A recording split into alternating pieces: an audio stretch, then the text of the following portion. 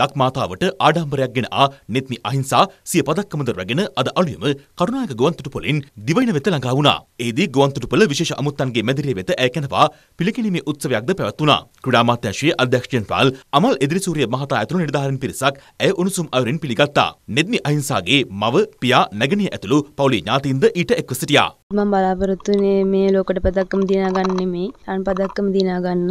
නමුත් මට ඒක නොහැකි වුණා. ලංකාවට මෙඩල් එකක් ගෙනල්ලා කීර්තියක් අත් කරගෙන දුන්න එක ගැන මට ගොඩක් සතුටුයි. ඒ හැම දුර්වලතාවයක්ම හදාගෙන ඔලිම්පික් වලට ක්වොලිෆයි වෙන්න මම සූදානම් වෙනවා. මගේ පුහුණුකරුත් මත් සමග මම ඔලිම්පික් වලින් මෙඩල් එකක් ගේන්න මම බලාපොරොත්තු වෙනවා. මීට වඩා හොඳ ට්‍රේනින් කරලා. ඇත්තට මේ තැනට එන්න ගොඩක් උදව් කරා ශ්‍රී ලංකා ජාතික ඔලිම්පික් කමිටුවෙන්. ක්‍රීඩා අමාත්‍යාංශයේ සියලුම දෙනාට ස්තුතිවන්ත වෙනවා මේ අවස්ථාවේදී.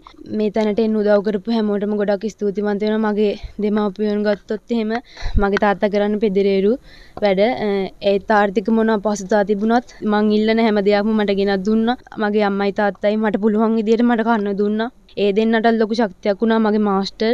ඒ දෙන්නට බැරි දේවල් මාස්ටර් මට දුන්නා.